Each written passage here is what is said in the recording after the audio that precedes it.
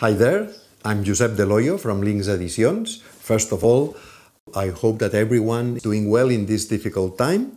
Like all of you, I'm sad that we are not able to meet up all together in the beautiful Rutland waters and enjoy the bird fair as many of us have been doing for over 30 years.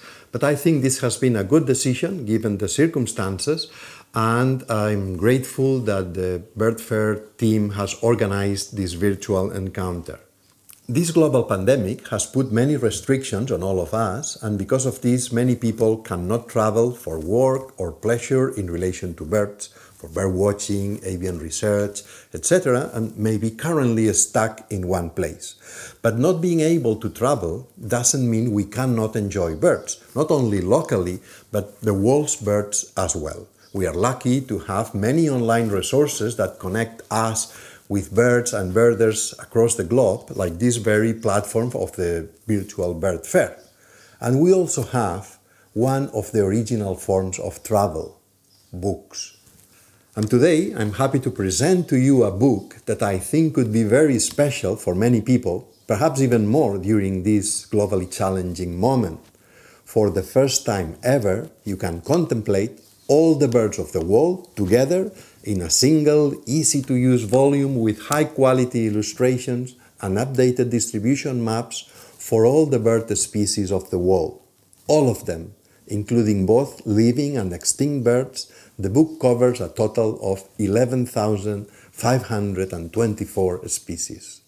We think this book is also special because with it we hope to reach many more people than any other book about the birds of the world. For this, it is essential that we can offer it at an affordable price, and we have achieved this thanks to the investments we had already made in our previous projects related to all the birds of the world. This means that the current book represents not only the two years of hard work that went into it, but also the important foundation of many more years and work that went into its predecessors. Lynx Editions was founded to produce the first work to treat and illustrate all the birds, the Handbook of the Birds of the World, HBW, in 17 volumes. And this was followed by an important update with focus on taxonomy, published in two volumes with BirdLife International, with Nigel Collar as co-author the HBW and BirdLife International Illustrated Checklist of the Birds of the World. So I guess we've kind of progressed backwards. Instead of starting with a simple idea and building on it, we started with the most detailed coverage with HBW, then focus on taxonomy with the checklist, and now we have reached the peak with all the birds in a single volume with much less technical detail, which will make it attractive to many more people. And as I mentioned, the current book can be offered at a fraction of the price of one of the other volumes.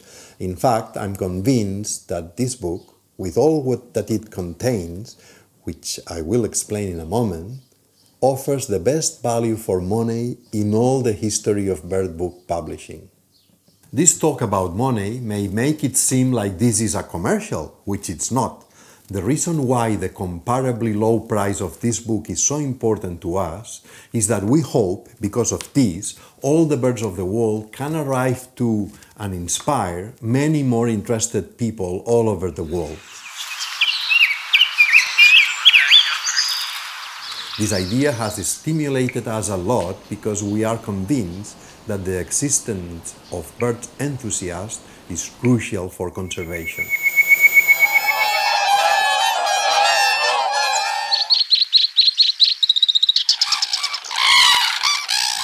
And while we hope the book is interesting to many of you who may be beginning birders, more general naturalists, and the like, we also can imagine more seasoned birders and even expert ornithologists finding a place on their bookshelf for this work.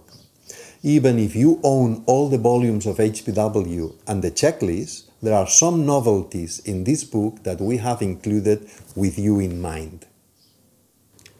The first is that the book presents a species by species comparison of the taxonomic treatment of the four major world checklists that classify all the birds of the world. Those by HBW and BirdLife, eBird Clements, the IOC, and Howard and Moore. We think that these straightforward visual comparisons will interest many keen on taxonomic matters, and we also hope it will serve as a tool to advance processes currently in motion to try to reconcile the different taxonomies towards one unified list. This unification would have important benefits for everyone needing a solid bird list, not just ornithologists and bird watchers, but also governments, wildlife managers, ecologists, conservationists, and many more. Another novelty of this book is the incorporation of the QR codes for all the 11,000 plus living species covered in the book. So while you are enjoying browsing through the book, you can also easily take out your mobile phone, which we all have on hand nowadays, and immediately access online resources at the Cornell Lab of Ornithology, both thanks to their eBird and Macaulay library projects. You can view photos and videos and listen to sounds of the species in question in just a click. And often there are hundreds of audiovisual records for a single species.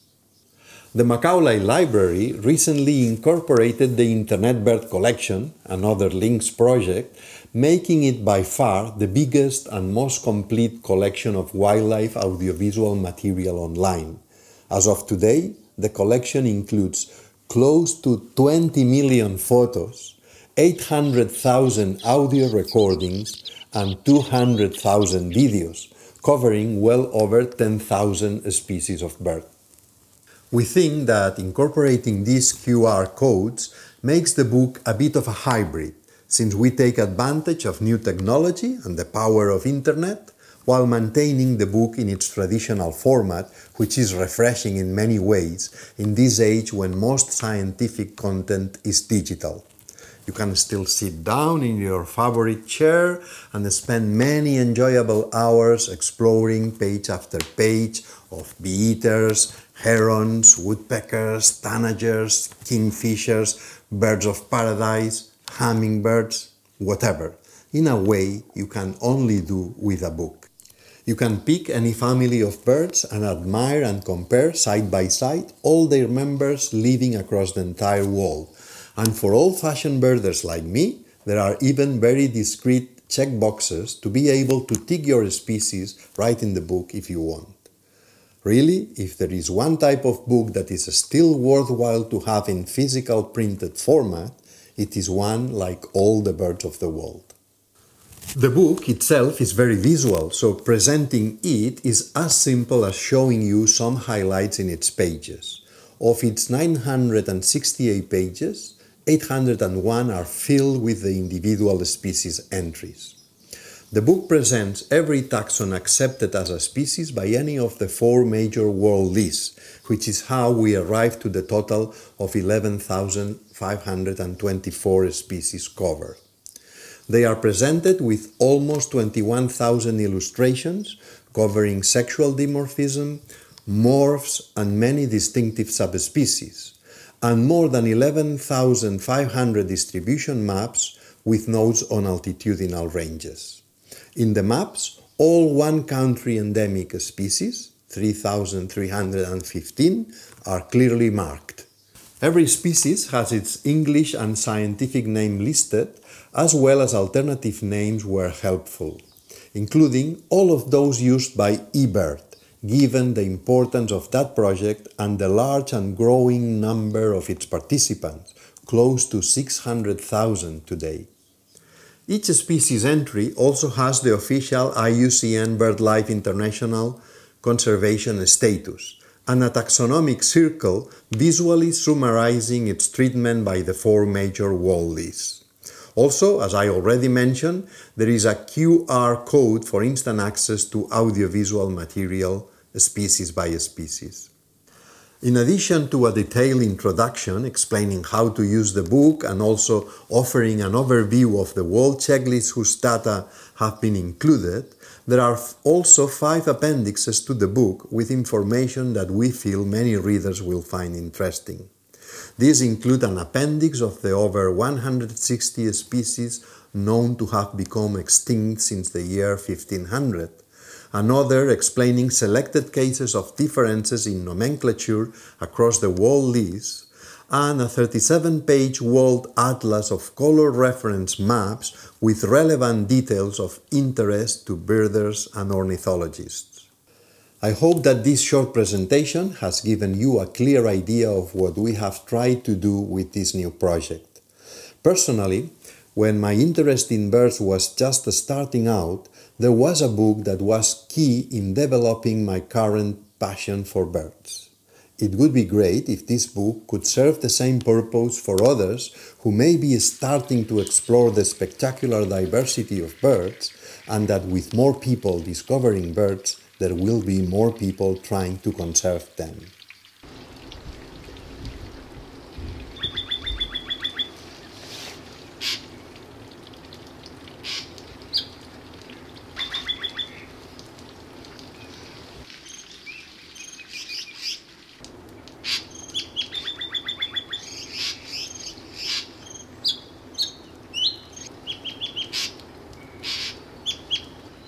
Birds are present in all habitats, including the most arid deserts and the least known areas of the oceans.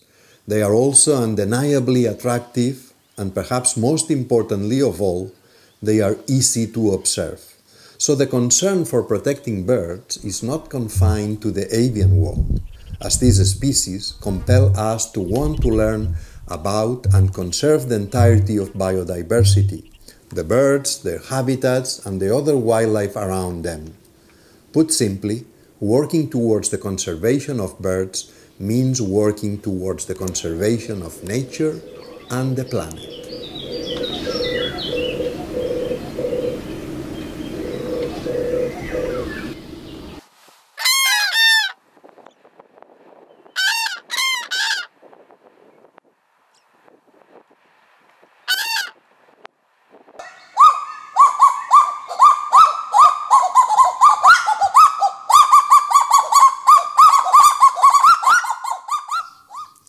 Thank you for your attention. Take care of yourselves and happy birding, even if only from your armchair with a good book.